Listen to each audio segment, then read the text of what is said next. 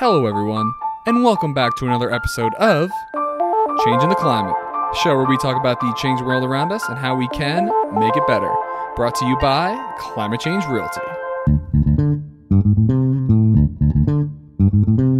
The only real estate brokerage that donates 50% of its net commissions to 501c3 nonprofit organizations dedicated to fighting climate change. Bruce, this is a it's a real true honor. I'm I'm ecstatic to have you here. Thanks so much for taking some time out of your amazing schedule to join me today. Well, I'm honored to be a part of your program and, and share with those that listen to you about what we do. So thanks for the invitation. Um, it's my absolute pleasure. And for those of you who don't know who this is, we're of course going to get into it.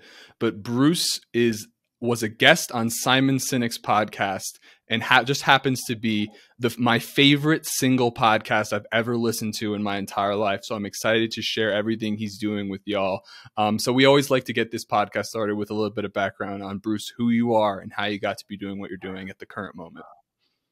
Yeah, so um, I've been in Atlanta 30 years now. I grew up in the mountains of Virginia and I went to college after that. I went into traditional ministry for about 14 years. So I served on staff at some churches in Florida, Georgia, and Virginia. Um, married during that time, so married to my wife Rhonda for 35 years now. We have five daughters. Uh, four of them are married, have eight grandchildren. Seven of those are boys. So all of my girls are giving me boys now.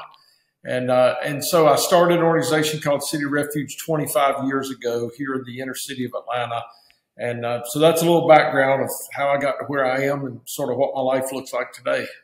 Yeah, very awesome. Quick and to the point. I appreciate it. What do you think are like some of the most formative experiences from your youth that have led you to be where you are right now? Yeah, so my dad was a pastor, and so uh, he was of the mentality that everybody deserves a chance. Uh, you know, a lot of times we talk about giving people second chances, but my dad sort of instilled to me that a lot of folks who find themselves in crisis actually never had a first chance.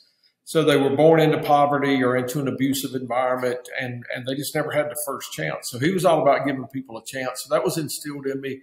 Uh, we pastored small rural churches and a lot of poverty, a lot of people in need, and we just had people live with us my whole childhood growing up. There would be somebody new on a regular basis. Uh, my dad also led um, benevolent kind of work all over the world. So uh, he went to multiple countries around the world to build churches and houses and dig wells and and do those kind of things. Worked a long time uh, with the Navajo Reservation in New Mexico, where he was he and my mom were heavily involved. So basically, my whole childhood it was just modeled in front of me that you know, life is more about what you can do for others versus what you can do for yourself or expect others to do for you. And so, you know, there was a time where I wondered if that was really the right way and, you know, chose some, um, some adventures that my dad might not have been proud of, but, uh, eventually found my way back to sort of that path he had established for us and, and just built on what I had been taught all the way through my childhood and young adult years. So not only were you given an amazing first chance, I take it your father and your family were close and they took care of you, but you were constantly watching your dad bring in other people and take care of them on top of taking care of you. And how many siblings did you have?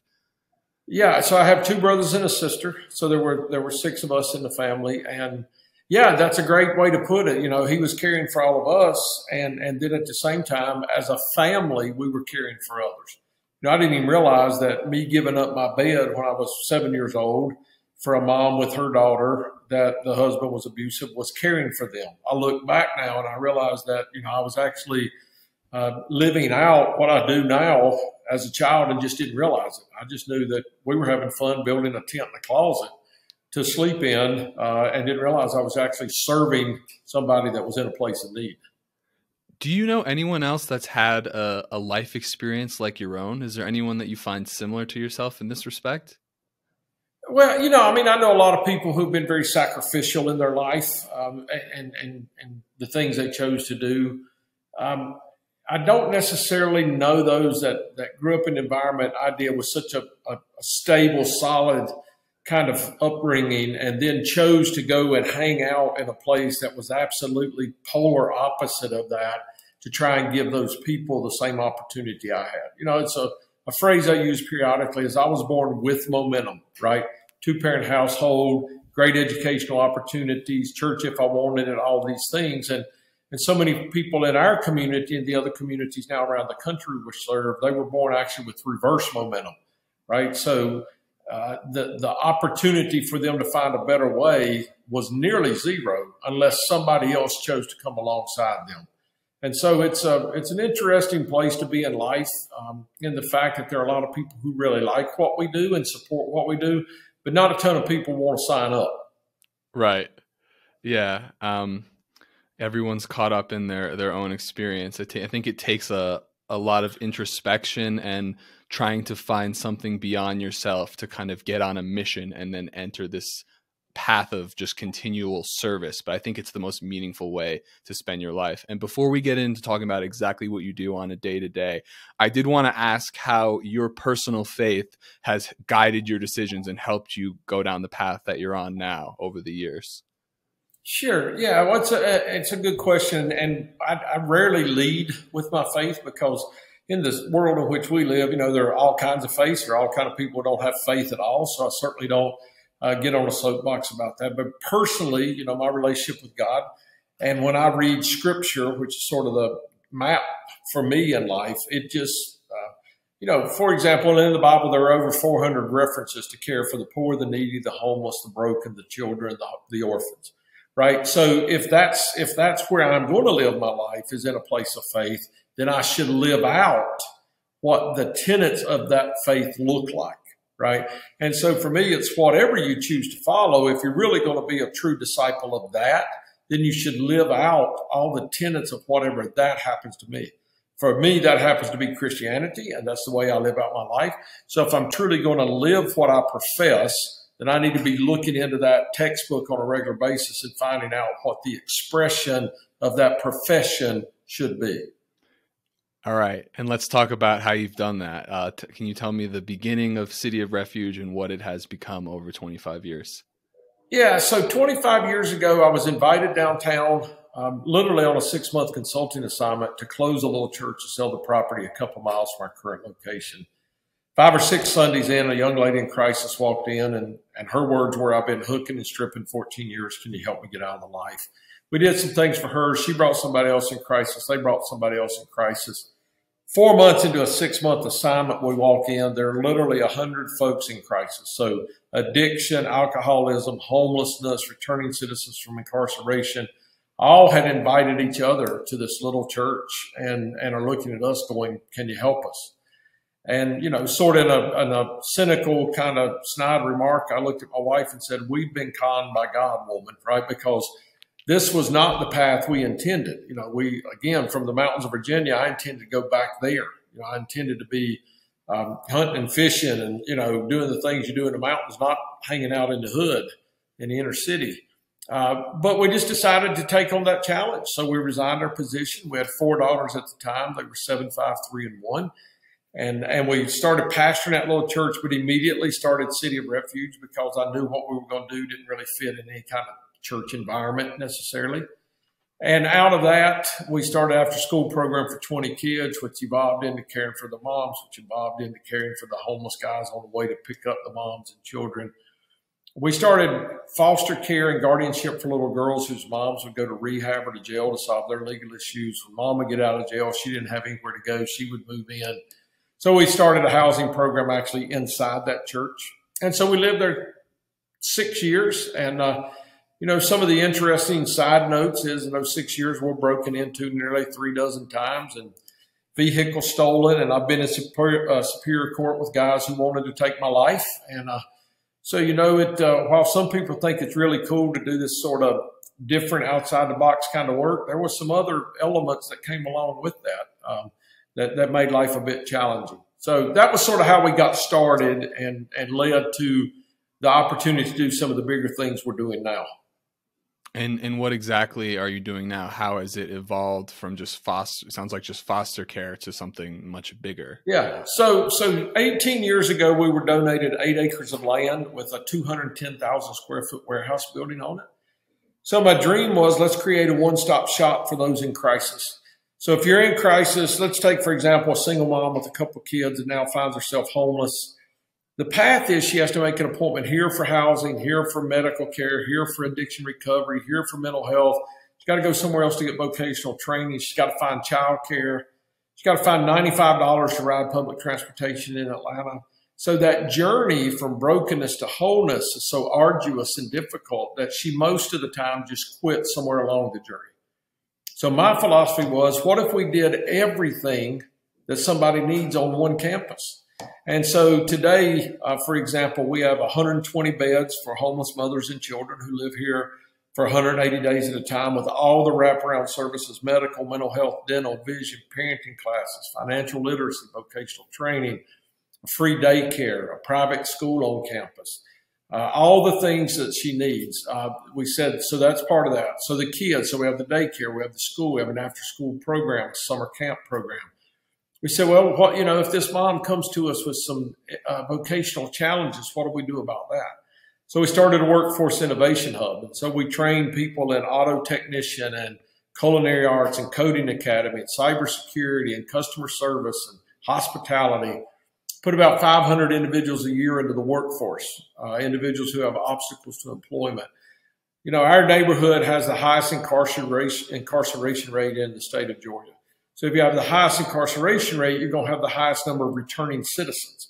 So we started a returning citizens program and we actually go into prison and serve those men and women during their last year of incarceration, equip them with the job skills, tools that they need in order to be successful when they come out. And, and so there's reentry skills, re- reunification with your family skills, finance skills, and they start their vocational training during those last three months that they're incarcerated.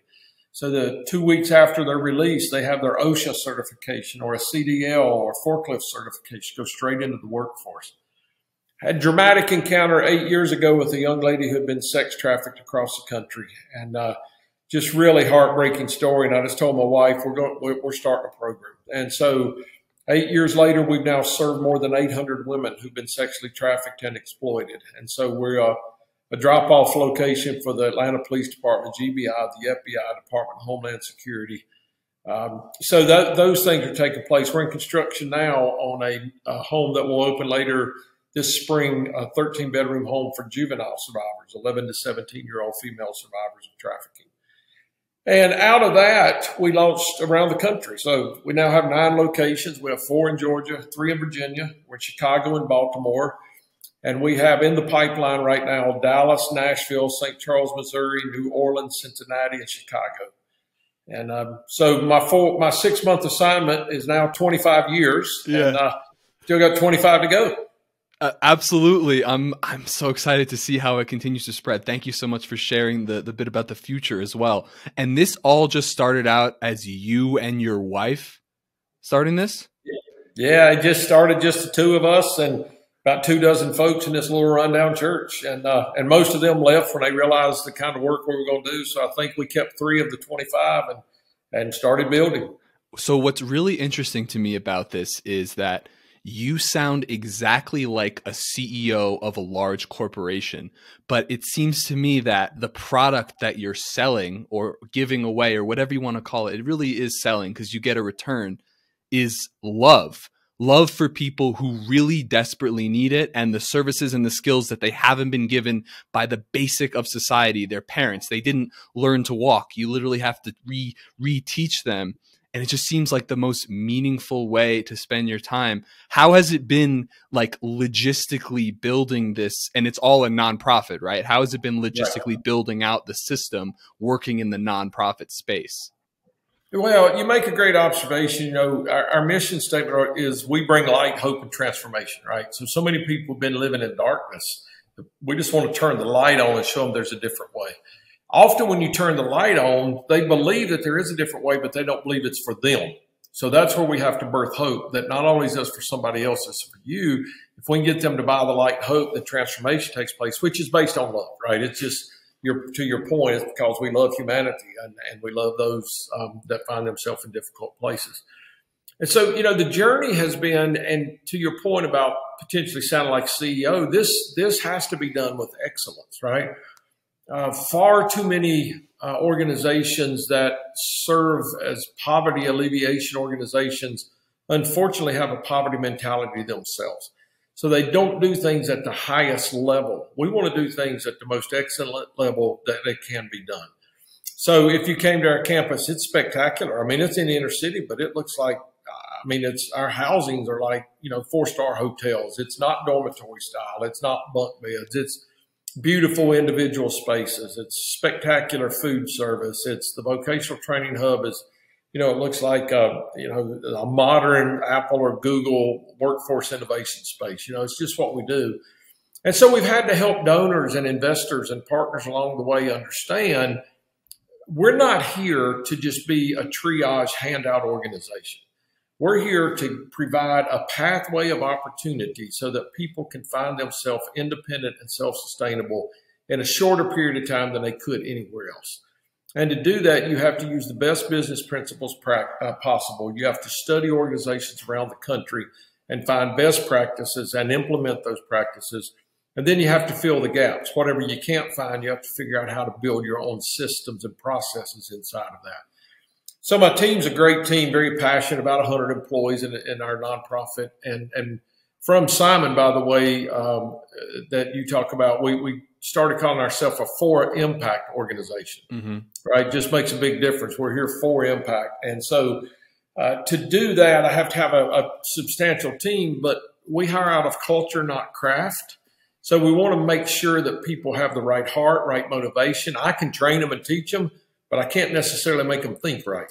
And so I want them to have the right heart and motivation when they come in. So building out HR, building out benefits for our staff, building out systems and processes and dashboards for us to be able to measure what we do. All of that's a key part of what we do. And all of that is based on the fact that we have the opportunity to spend hours and hours every day with people in crisis. Yeah, when you wake up every day in the morning, do you feel like you are living the exact life you were meant to live and you're always happy and full of energy? I'm just curious. Without question. I mean, this is my destiny on purpose. You know, my wife laughs and uh, she says, You don't need an alarm clock. Your passion wakes you up every morning. You know, I just love what I do. I, I love the, I love that this is my destiny, my calling. I love that it's my vocation. I don't consider it a vocation, honestly. Uh, but but it is it is where my gifts and talents I think are, can be best used to make the world a better place. And you felt like that for at least eighteen plus years. Yeah, I felt like it the whole twenty five years. I mean, that first year you're looking around going, okay, I'm trying not to get shot, but you know, at the end of the day, I just it. it I, have never doubted since Ron and I made the decision to come downtown Atlanta. I've never doubted this is what I'm supposed to do. There, I mean, you know, you mentioned I'm not necessarily happy every day. Um, you know, happy is that external feeling, but I but I do have joy every day. Correct. Because I know what's going on is is the right thing. You know, we've lost really good friends from the city to death, to overdose, to suicide, to you know, uh, we've had people that we've trusted steal things from us and leave. You know, we've so there are days that happiness is not my companion, uh, but but contentment and satisfaction that this is the right thing are always my companion. Yes. So when someone does something like that, do they ever return and apologize? And if they do, how do you respond to that? Yeah, you know, um, Atlanta, most cities are like this, but Atlanta has um, an interstate that circles the entire city, um, Interstate 285. So literally goes all the way around the city. And when people leave, whether we have to ask them to leave because of behavior or they leave because of rebellion. My, my comment is often they're just they're just on 285. They're going in a circle. They'll take some wrong exits along the way, but eventually they'll take an exit back to City Refuge. And when they do, we'll be here and uh, and we'll receive them back. And so, unless there is a a violence issue or a threat to human life issue, um, that's about the only reasons we don't take somebody back. Right. Very interesting. Um, oh yeah, I do want to. I'm like wondering to ask you if, like, when you were a teenager, if you ever had like hatred for someone, and then once you became an adult, like those feelings just all disappeared, and you just say everyone's trying their best. We're all humans. We all make mistakes. Just this endless uh, idea of forgiveness, understanding someone's perspective, and then just trying to be a light in their life i think is like just it's such a most people don't think about about things in that way like if someone wrongs you that people want revenge but i think if you really can think about it deeply what you really want is to be happy and enjoy your life and having these these strong feelings of anger or revenge it doesn't actually give you satisfaction. Like you mentioned the word joy versus like pleasure. Like if you maybe you know like when the criminal gets tried everyone's all riled up and wants them to have their punishment. But that's just that and then the, when the person gets punished it's just a bit of like joy. It's like yay they got what they deserve. But i saw not joy uh, um, pleasure but when you are living your life in, in, in service to others, you continually feeling this joy that you are doing the best you can possibly be. You're creating more happiness and more joy in the world. I don't know. It's cool. Yeah. Yeah. And you know, there there is this line that we draw periodically. Know, there's some people who just want to live criminal lifestyles or they want to live rebellious lifestyles or they want to take advantage of others. And so you know, in the streets of Atlanta, you know, I'm, I'm, well known for our compassion and welcoming, but I'm also well known for the fact that I will draw a line, and and you will be sort of told in no uncertain terms that we're not the place for you right now because your attitude is not an attitude of receiving in order to change. So if you're here just to take advantage of and and to see what you can get out of the process without being contributor to the process, that doesn't work for us. And so. Uh, it's it's you know I wrote a book a couple years ago called Trust First, and that's our attitude. We're going to trust you until you prove we can't. Most places you have to prove you should be trusted. For us, we'll trust you day one, and when you prove you can't be trusted, now we have to start over. And what that does is it it activates something in people's lives when you trust them before they have to prove it. And all of a sudden they go, well, if you believe in me, I can believe in myself. And periodically we miss it. We'll trust somebody that they don't have any interest in getting right. And so we'll have to, you know, tell them again until you change your attitude mentality, this is not the right place. But that's less often um, than it used to be, certainly. But I'm guessing that you've never once regretted trusting anyone because it was always worth a shot to see what they could potentially become. Am I correct? Well, yes, you're correct in the fact that um, it tells me more about me than it does about them if I'm willing to trust, right? So for me, the trust factor is as much about my attitude and mentality towards somebody as it is about whether or not they're going to receive that trust, right? Because as a society, we just, we categorize people, right? So, you know, we try not to use the word homeless very much here because that identifies people. We use in transition, right? We don't use the word victim of sex trafficking. We use the word survivor, right? So we're always trying to change the vocabulary and the terminology to give people value. And I want to make sure that I stay um, on the edge of that myself rather than me looking at somebody walking in going, well, he has six felonies. Well, he did this. Well, he did that. Right. So when I trust them first, then I'm pushing down even my own prejudices uh, at the beginning. And that, that's just something that's an ongoing process. Definitely. One thing I really wanted to ask you was your perspective on what people deserve. So I'm college educated from New Jersey. Um, many people I know feel they're entitled to what they've been given or they're entitled to what they've earned. I went to, I went to college. I can't take a job for $40,000. I need to get this much money. And I wanted to ask you how spending so much time with people who have so little has changed your personal perspective on what people have earned or what they deserve in life. Yeah, I, you know, I, it, it, that's a little bit of a difficult question. My answer, though, is I think everybody deserves opportunity. And that's pretty much all I think anybody deserves, right? So it, it's not a matter of, well, you, you deserve to make more money or you deserve to live in this house or you deserve this. Everybody deserves opportunity. And then you choose to do whatever it is you do with your opportunity, right? And so, uh, you know, I, I had opportunity. I, I City Refuge is now, you know, as I mentioned, we're around the country. We're well thought of. We've got a lot of accolades. All I had in the beginning was an opportunity. We had a little rundown church with very few people and no money. And we felt like we had a call. So we went down. It was just an opportunity and nobody funded our opportunity. Nobody made the road smoother. We had to figure all that out. Right. And so for me, if you're born into poverty, you just deserve an opportunity to get out of poverty if you're born or if you're raised in an abusive household, you need an opportunity to get out of that, right? So doesn't matter if you come from the mountains of Virginia like me or from Jersey like you or from the inner city of Atlanta, I just think everybody deserves an opportunity. And that as people who care about each other, if we can be a part of creating that pathway of opportunity, we should. Definitely. Definitely. That's, yeah, that's, that's incredible. Um, so every a lot of people are are grappling with who they want to be in life and they understand their their faults and their um, their strengths. And some people and some people don't even really know don't want to do this introspective look into see who they really are. And you talk about this idea of trusting first.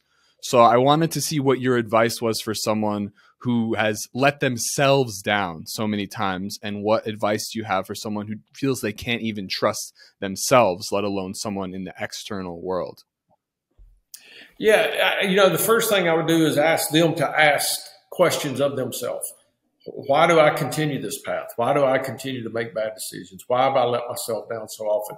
There's always a back reason for these things right? So Sometimes that is from the outside and sometimes that's self inflicted. But without knowing the cause, the root cause of why behavior is exhibited in the way that it is, prevents us from ever being able to adjust and, and make that behavior correct behavior, right?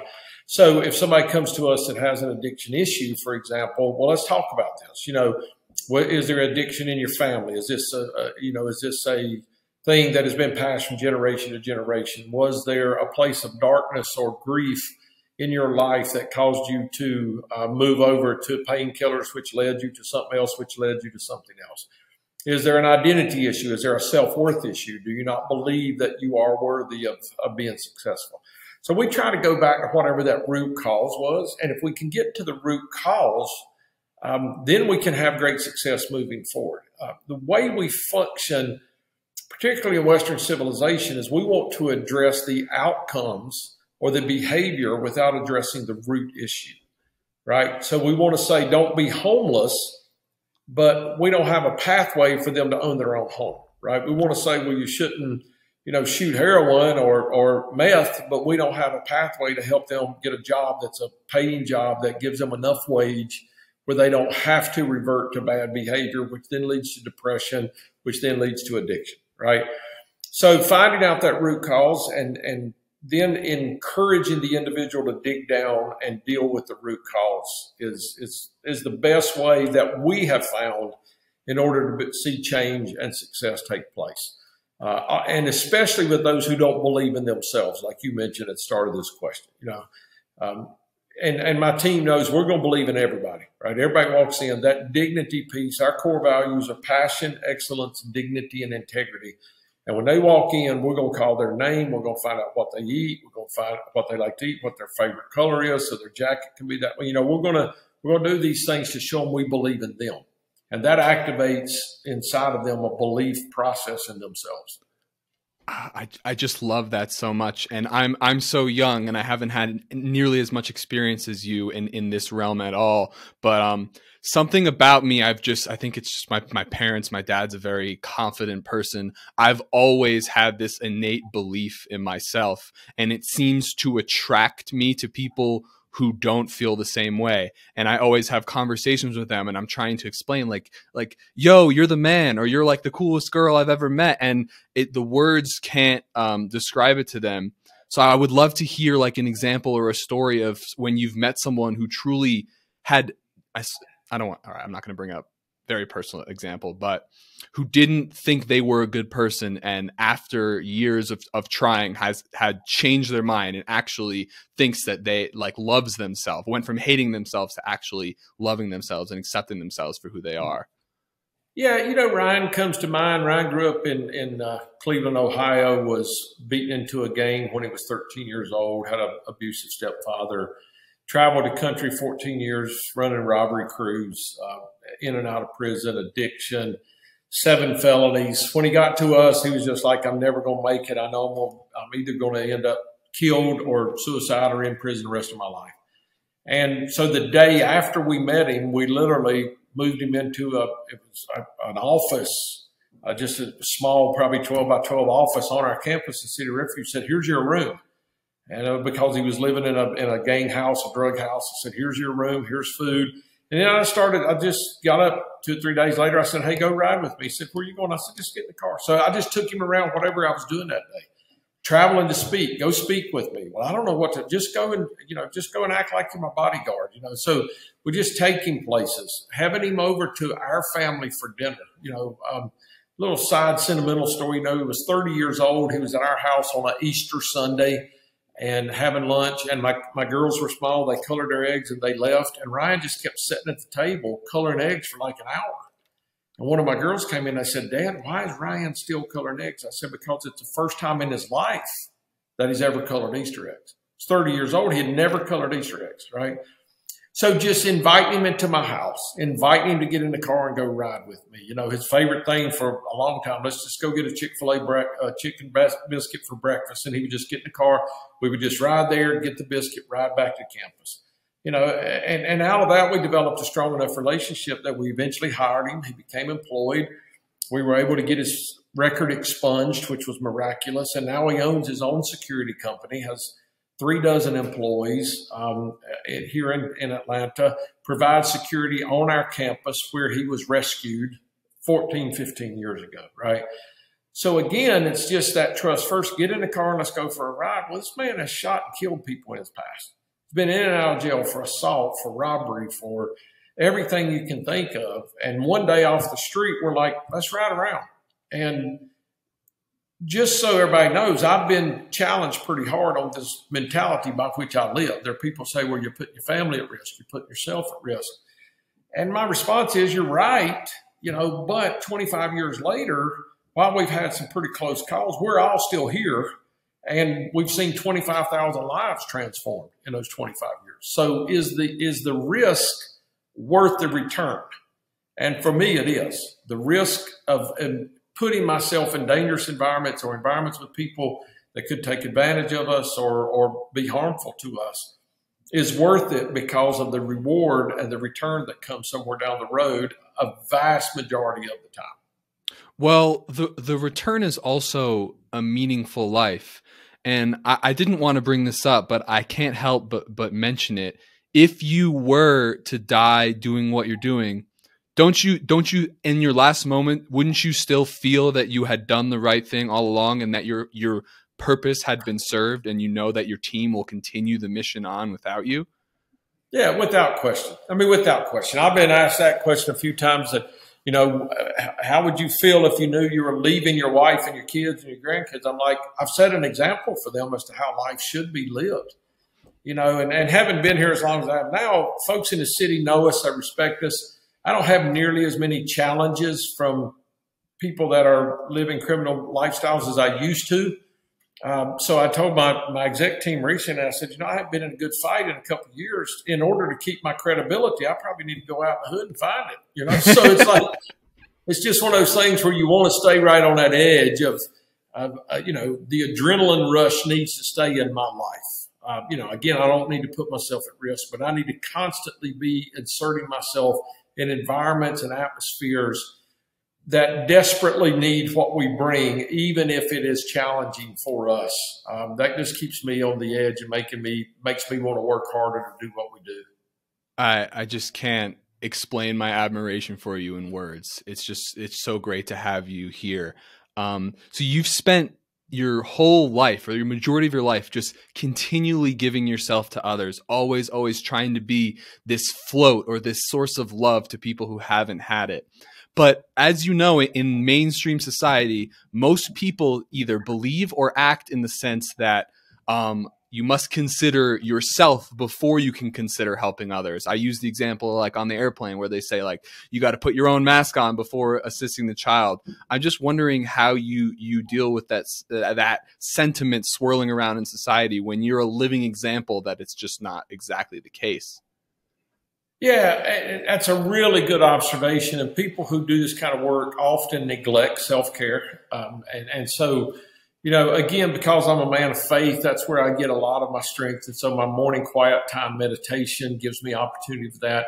Incredible wife. Uh, obviously, they've been with me for this 25 years. So I just carve out time for my wife and my kids. I've always said I'm never going to let the work we do rob relationship with my family. I don't want them to ever resent what I do. Uh, the other things I just try to take care of me, right? So I work out on a regular basis. We got a you know workout center here, so I work out with my sons-in-law, with my staff. I still, you know, I'm 61. I still play uh, competitive basketball, play in softball leagues, play golf, I run. Uh, so you know, I do. I just those are the things, competitive things, energize me and keep me feeling more youthful than my than my biological age is. So, uh, just trying to really stay active in life and and maintaining my family relationship and in my faith relationship. Those are sort of the three pillars for me that keep me sharp. Um, and then, you know, if there are days where there's a little bit of a struggle for me or for staff, we just start recounting stories of success. So we don't spend much time talking about failure. If there's something we could have done better, we want to know that. But we just recount to each other over and over stories of success, and those just energize and motivate us to keep going. Excellent. Bruce, it's been so so great to talk to you today. I just wanted to kind of go back to the beginning as we come to the end here, and I would love to hear your your experience of being called to do this work and and your advice for young people who don't have an explicit call to do something and are kind of lost in their direction. What would you say to someone like that? Well, you know, I think we all are created with um, specific skill sets, talents, abilities, passions, and and you know, unfortunately, um, people sometimes settle for what's convenient. So they settle for the employment opportunity that's convenient and, and maybe compensates them well. They settle for a role in life that is okay. Um, but you know, I would just challenge your listeners you know, what is it that drives you? What makes your heart beat faster? What takes your breath away? What what causes you to begin to think creatively and outside the box of normal lifestyle, right? Um, and and if if there are things in your life that cause that adrenaline rush or that heartbeat increase or that breath catching, then that's probably something you should investigate and, and see is this a place where I can be? Because those are the places that generally bring the greatest sense of fulfillment, right? Um, you know, you know, we we are we, we only got we only get one shot at it, right? So you know, we we all come to the place where the last breath leaves, and I don't want to be at that last breath and go. You know, the, there's a famous quote. They say that Wyatt Earp, that his last breath, he just looked at those around and just said two words: "What if?" Right? I don't want to get to the end of my life and go, what if? What if I'd done more? What if I'd given more? What if, you know, Schindler's List, the, the last scene in the movie, Schindler is, has a little pinky ring on. And he goes, what if I had sold this ring? I could have saved one more, maybe 10 more. What if I'd done this? And I just, I would challenge you and your listeners and those to just, to live a, a lifestyle with a mentality that says, when I get to the end, I'm not going to have to say what if when I get to the end, I'm gonna look back and go, "That gum, that was fun." I could I couldn't agree more, man. Uh, it's been an honor to have you on the show. Um, any final piece uh, pieces of advice for people who are passionate about um, creating a better world around us, fixing society, having a positive impact on those around you? Yeah, just go for it. Do something. You know, we can't do uh, we can't do everything that needs to be done. I'm not here to change the world. I'm here to, to impact my corner of the world. So if your thing is climate control, or if it's homeless, or if it's survivors of trafficking, or if it's economic equality, figure out what your thing is and do something in that space and just see what it might become somewhere down the road. Follow your passion. Bruce, it's been an absolute honor. No, it's been my honor. Thank you.